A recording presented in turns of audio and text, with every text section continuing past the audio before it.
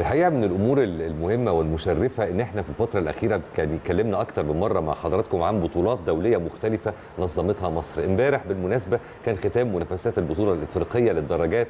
طبعا دي البطولة اللي شارك فيها أكتر من 15 دولة إفريقية. هنتابع معاكم جزء من هذا التقرير ونتعرف أكتر عليها. اتفضل.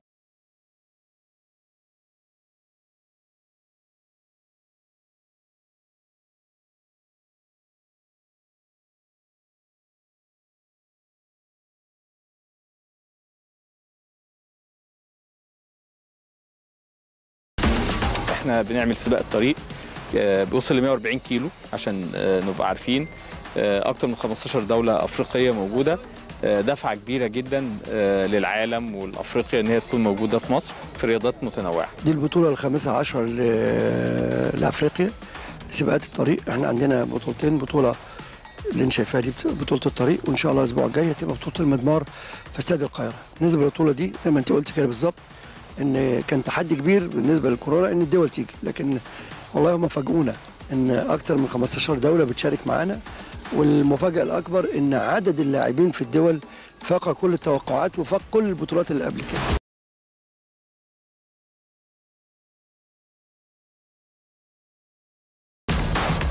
هو النهارده بصراحة كان أصعب سباق آه، 140 كيلو فرد العام.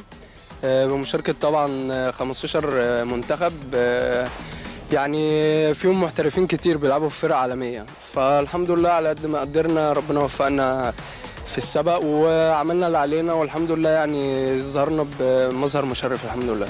والله البطولة نع- السنة دي ال- بسبب كورونا كنا متوقعين يبقى في عدد أقل من الفرق لكن ما شاء الله وصلوا ل 18 دولة بيشاركوا في البطولة الأفريقية وأعداد كبيرة. يعني سباق الرجال كان حوالي 82 لاعب سباق الإناث كان حوالي 32 لاعبة بيمثلوا 11 دولة.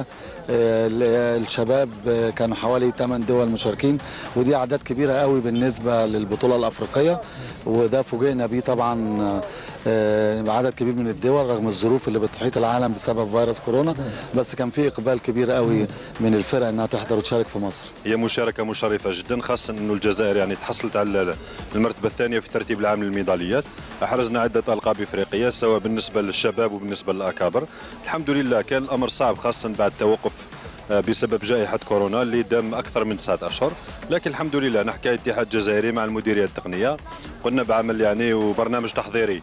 آه، ثري بما أنه النخبة الوطنية كانت في تربص في تركيا 23 21 يوم قبل البطولة الإفريقية هذا الشيء اللي ساعد على اكتساب ريتم وتنافسية والحمد لله تحقق آه، نتائج آه، باهرة عن طريق آه، رياضيين شباب كذلك. الحمد لله حققت المرتبة الثانية ميدالية الفضية.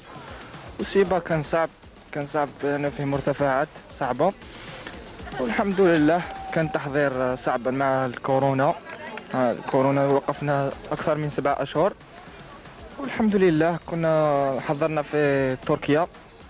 كنا نسابقوا.